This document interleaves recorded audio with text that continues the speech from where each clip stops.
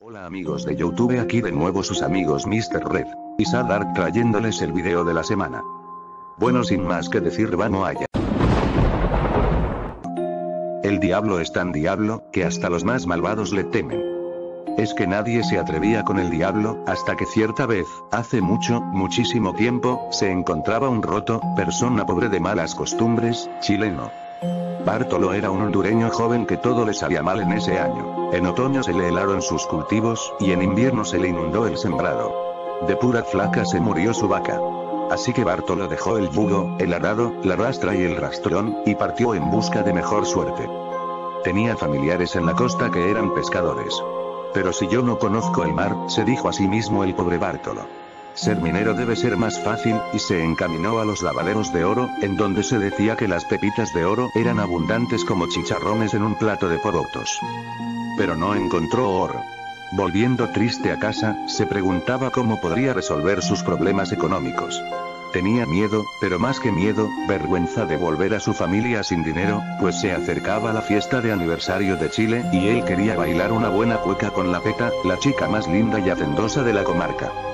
Entonces recordó una idea que tuvo su abuelo para hacerse rico, pero que nunca intentó por miedo, hacer un pacto con el diablo. El joven arrogante pensó, de más que hago pacto con el diablo, pero apenas se dijo esas palabras, sintió miedo. Ya entrada la noche, fue al bosque, era una de esas noches sin luna. Con toda la fuerza de voluntad, y con lo que sus pulmones le permitieron, gritó patas de higo. Tres veces, uno de los apodos del diablo en Chile, como también lo son malo, malulo, cachudo y el cola en punta. Un relámpago abrió de par en par el cielo, la tierra tembló y el joven sintió un olor a azufre. Entonces lo vio de barbilla, bigote y rabo, de chispas por los ojos y una risa del demonio. Bartolo no se asustó, sorprendentemente, y luego ambos comenzaron a hablar de negocios. Bartolo quería venderle su alma, ya que nada más tenía.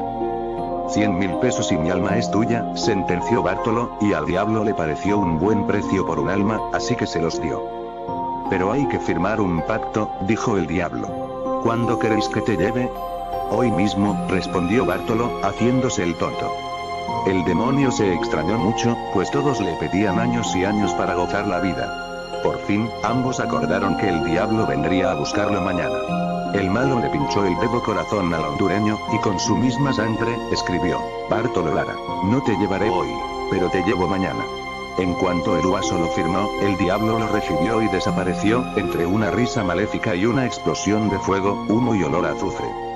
No hay necesidad de decirlo, el guaso Bartolo aprovechó al máximo sus 100 mil pesos, con un caballo, ropa de buena calidad, dinero para sus familiares y dinero para la peta, con la cual bailó un montón de cuecas. Se le hizo corto el día. Apenas anocheció, fue a su cita con el diablo, el cual lo saludó con su sonrisa endemoniada. Muy bien, le dijo. Mucho gozaste, ahora recibo mi premio. ¿Cómo que recibes mi alma? Dijo Bartolo irónico. Tan diablo eres, y no sabes leer. De mala gana, el diablo sacó el pacto, y lo leyó. Bartolo Lara, no te llevaré hoy. Pero te llevo mañana. Es verdad, dijo, la cosa es mañana. Así es, asintió Bartolo, pero déjeme otros 100 mil pesos por el viaje y la puntualidad. El malo se los dio. Mañana te espero. Le dijo al pasárselos. Mañana volveré, aseguró el hondureño. Y cuentan que el roto siempre volvía, y el diablo siempre veía aquel pacto que entraba en una contradicción temporal. Bartolo Lara, no te llevaré hoy, pero te llevo mañana. El diablo, que se dio cuenta de esto en algún momento, le dijo, ya cansado. Me has engañado. Y estalló, ardió. Había fuego por doquier. Bartolo no se explicaba cómo era que no le pasó nada. Las historias cuentan que el hondureño se mudó del campo hacia el Gran Santiago para evitar de estar solo en los bosques, y que le apareciera el diablo. También se dice que hizo un pacto con la tierra, la cual lo ayudó con su granja, que ahora que tenía dinero, la mejoró y comenzó su producción. Pero por los bosques de Chile, cerca de las granjas, cuando los perros se ponen a aullar, los ancianos aseguran que sale el diablo buscando al guaso hondureño que lo engañó. Bueno chicos este ha sido el video de la semana. Ya saben si quieren más vídeos como este suscríbanse, denle me gusta, y compártanlo con sus amigos. Si te ha gustado este video, no olvides dejar tu like y compartirlo con todos tus amigos. O si no, en la noche vendrá el chupacabras y te jalará de las piernas de tu cama. Nos vemos hasta la próxima. Veo nuevos en este canal. ¿Alguien de ustedes no se va a suscribir? Yo no me suscribiré a este canal de porquería. ¿Alguien más?